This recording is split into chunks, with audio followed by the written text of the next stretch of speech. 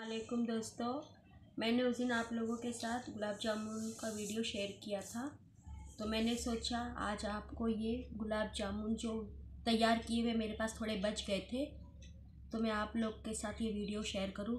देखिए, ये गुलाब जामुन ये गिट्स कंपनी के हैं। आपने गुलाब जामुन तो बहुत सी कंपनियों के बनाए होंगे, लेकिन इस वाली कंपनी का बना कर देखना, बहुत ही माशाल्लाह, बहुत ही मावा, ऐसे लगता है जैसे इसमें मावा मावा जैसे है हमने रखा है मतलब ऐसे लगता है, बहुत ही टेस्टी लगते हैं। देखिए, मैं आपको कट करके बता रही हूँ। देखो, कितने प्यारे बने, माशाल्लाह। तो आप लोग भी ज़रूर ये गिट्स के ट्राई करो। मुझे तो बहुत अच्छे लगते हैं, माशाल्लाह, ये। तो आप भी ऐसे ट्राई करो। वीडियो अगर पसंद आती है तो लाइक शेयर और कम सब्सक्राइब